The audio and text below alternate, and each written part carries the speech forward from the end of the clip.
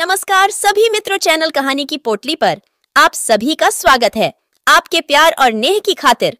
हर रोज एक नई ज्ञानवर्धक कहानी आपके सामने प्रस्तुत है। एक बार की बात है, बीरबल रास्ते से गुजर रहे थे कि तभी उन्हें किसी के रोने की आवाज़ सुनाई दी।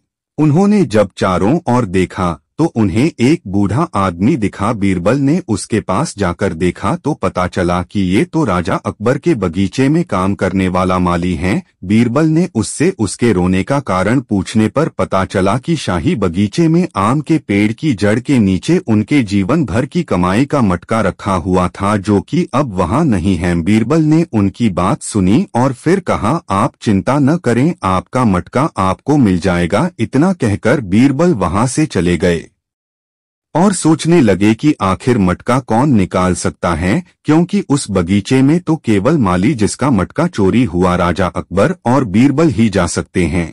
इन तीनों के सिवाय उस बगीचे में और किसी को जाने की अनुमति नहीं है। बहुत सोचने पर बीरबल को याद आया कि जड़ी बूटी लेने के लिए कहीं शाही हकीम तो बगीचे में नहीं आए।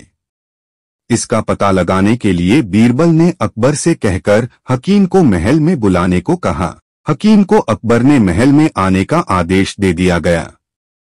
हकीम के महल में आने से पहले बीरबल ने महल में मौजूद मंत्रियों से पूछा कि कौन कौन हकीम जी से अपना इलाज करवा रहा है तब एक मंत्री ने बताया कि उसका पेट खराब हुआ था जिसका इलाज हकीम जी कर रहे हैं। उपचार के लिए उन्होंने आम के पेड़ की जड़ से बनी दवाई दी है।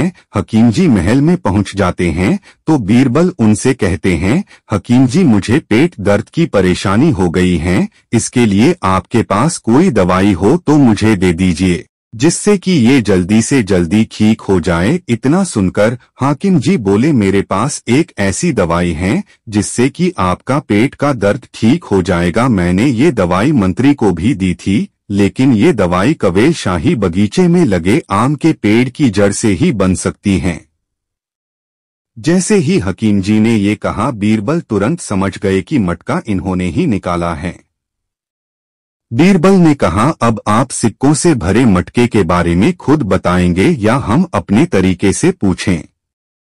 हकीम ने कहा, हुजूर, मुझे माफ़ कर दीजिए, मुझे लगा ये मटका बहुत पहले का दबा हुआ है, इसलिए मैंने उसे निकाल लिया। अकबर ने बीरबल की तारीफ़ करते हुए कहा, तुमने आज फिर अपनी बुद्धिमानी से मटका चोरी करने वाले को पकड़ लिया।